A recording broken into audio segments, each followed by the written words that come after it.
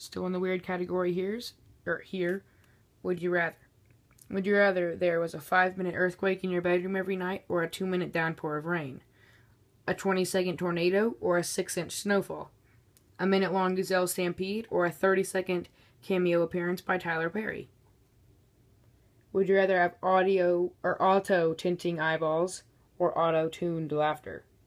Would you rather only be able to sleep between 2 p.m. and 4 p.m. or only be able to eat between 3:08 p.m. and 3:12 p.m.?